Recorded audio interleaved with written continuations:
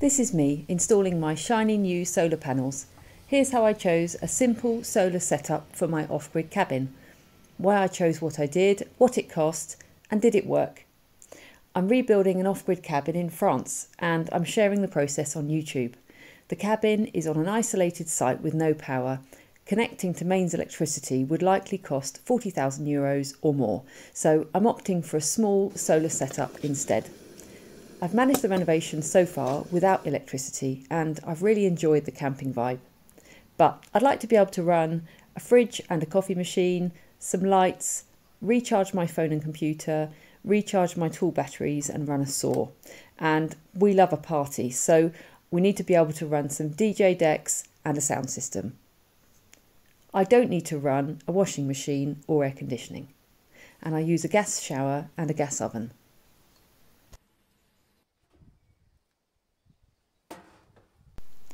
I've got two solar setup options. I can either build a fixed solar setup with a battery bank, inverter, charge controller, I'll need a fuse box and I'll need to install plugs and cables into the cabin.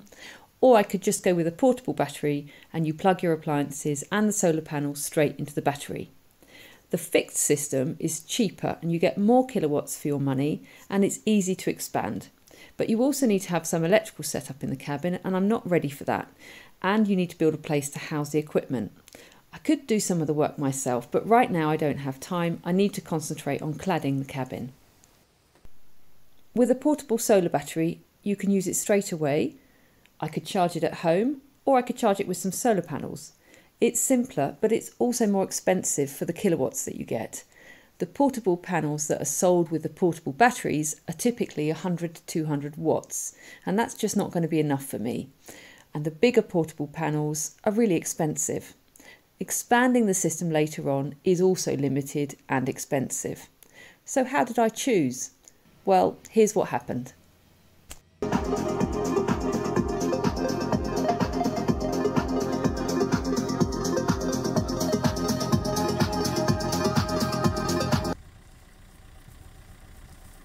couple of weeks ago, I went to Dijon to pick up a kitchen sink Whoa!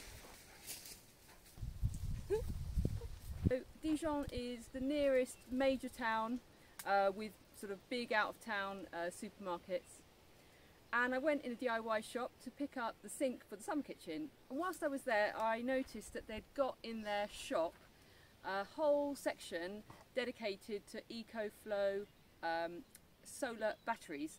I got chatting to the guy in the shop I told him all about the project, all about the cabin, all about my plans and um, he got chatting to his colleagues and they've decided to come Saturday night, they're going to come overnight, uh, they're going to come with a camping car and they're going to park up just about where I put the van. Um, and the idea is they're going to bring a load of these batteries and we're going to test it all out, see what's going to work well for me uh, and I just feel like it's a really good excuse to have a party. So I'm going to set everything up now.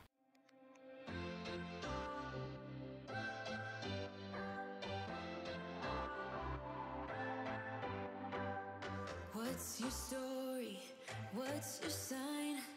It's like we're twin flames in a different life. Deep connection lights a spark. It's like you know me in the depths of my heart. We're dreamers.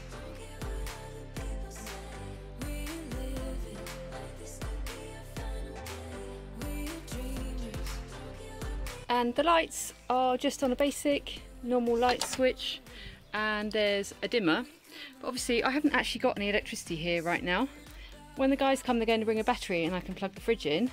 That's going to be great. All of that's all set up ready to go. Um, but I did really want to just test the lights and make sure that they were working. I've picked up this little um, accessory and basically it converts a DIY battery into something you can charge your mobile phone off and plug in some lights.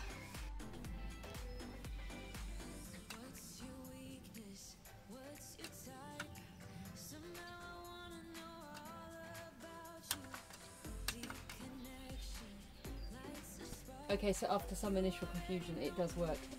I had to put a slightly less powerful battery in. I put a 5 ampere uh, battery in and it wasn't working. But when I put the small one in, this is just 2 amps, uh, seems to be fine. So you switch it on, that is already on, switch it off. Then I've got my light switch here and voila. Yeah, so pretty happy with that. It's quite a good little gadget. I'm sure I'll use it a bit. And maybe you've got a situation a bit like me. Maybe you go camping once in a while and you just want a little bit of extra light than a solar light or you know my other half he smokes an electric cigarette it's really useful for charging that um, and just want to say I'm not sponsored in any way shape or form by these guys. It's just I buy their products and generally find they're pretty good. So there we are. This is my off-grid tip for the day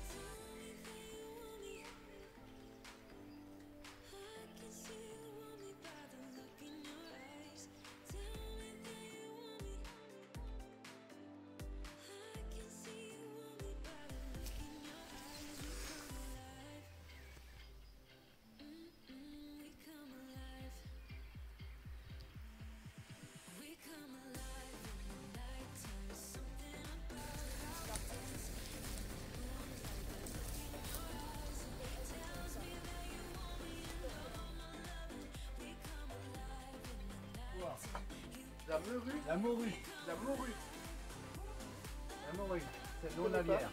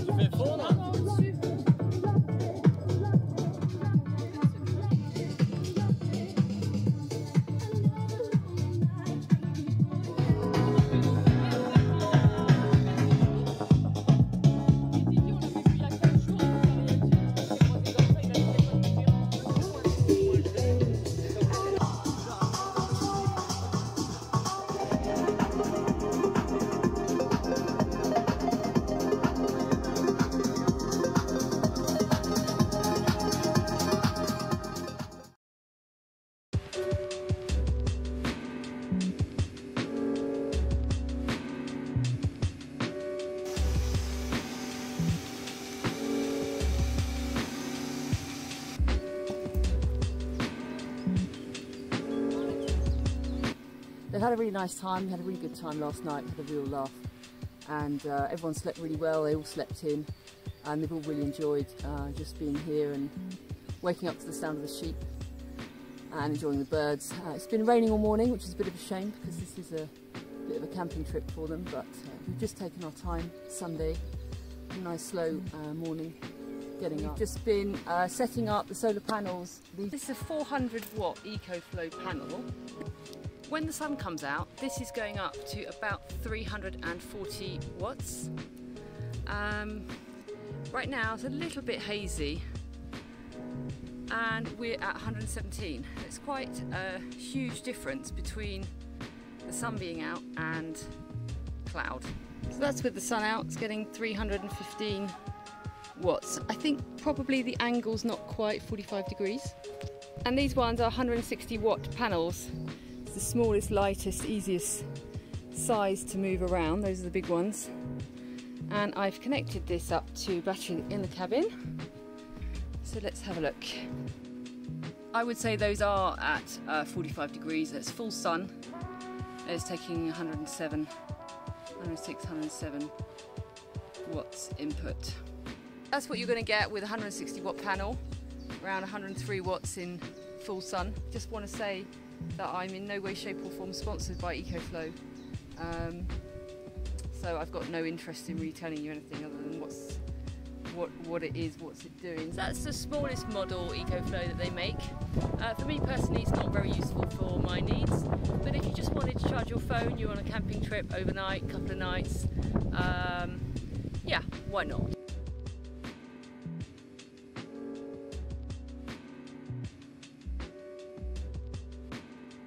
The guys have come in this van. Uh, it's a rental van from Dijon. And uh, yeah, it's pretty nice. Let me show you inside.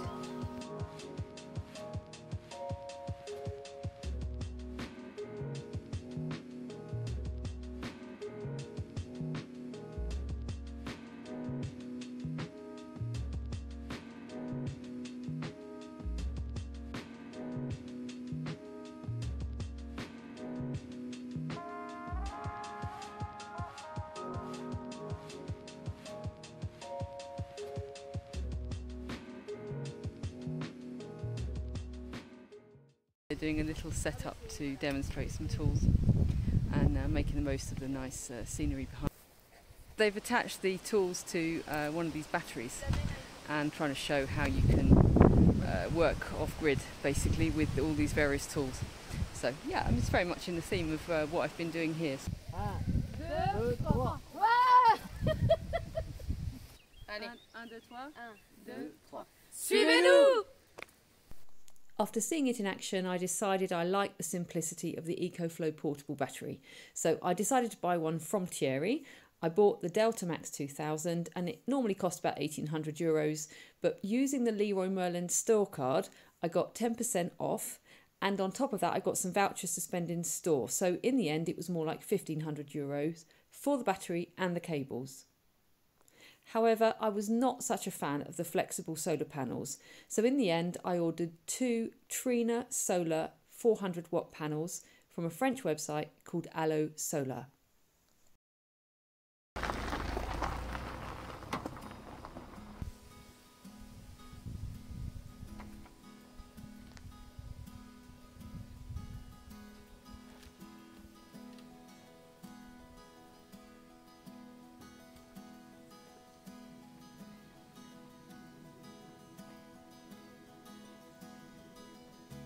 So the next question is, where am I going to put them?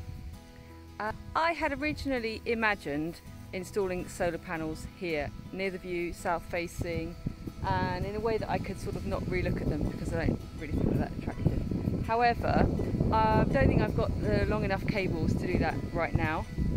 The other option is just to uh, put them here, which gets quite a nice amount of sun, surprisingly day and evening, despite the fact there's some trees around, it gets nice morning sun. And right now, yeah, you can see it's sort of mid-afternoon, it's got quite a good amount of sun. But again, not sure I've got the cables that are long enough.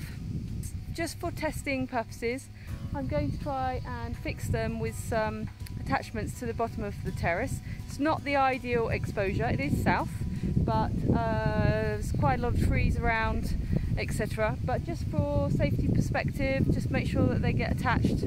Uh, obviously a bit of wind around. Let's let's try that.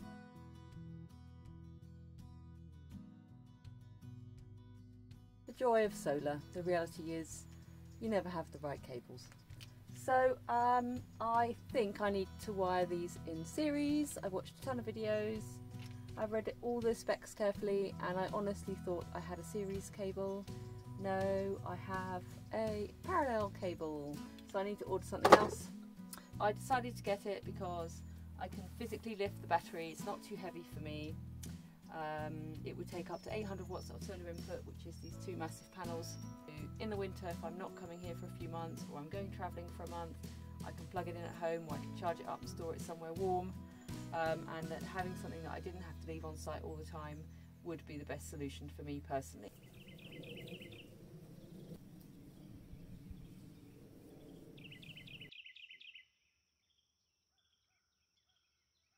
After my panic yesterday where I thought I didn't have the right cables, I watched for the fourth time a video called Kelly's Country Life. He's done a great video on whether you need to wire parallel or series your panels and how you look at your panels and work out how you need to put them together to make sure that you don't damage your batteries. And what I realised was is I have the panels, I have the cables, I just need to plug the cables together between the panels, then I'll be left with two and I need to plug them both into my battery. So I don't need anything else, so I'm going to get on and try and do that now.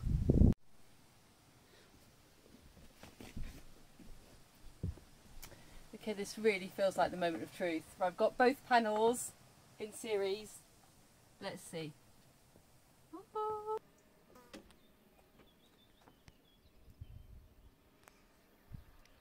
Right, it's one o'clock. Sun is directly above the panels. So I'm getting nearly 650 watts. It's full sun. Panels not at 45 degree angle.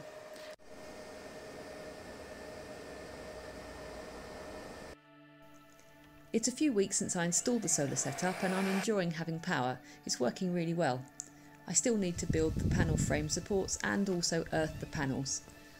If you've got a small cabin or a tent and you want an easy solar setup, this could work really well for you. Thanks to the guys at Leroy Merlin Dijon for making the process fun and also to Allo Solar for their help and rapid delivery. If you'd like to see more of the cabin, check out the one year build highlights video and subscribe.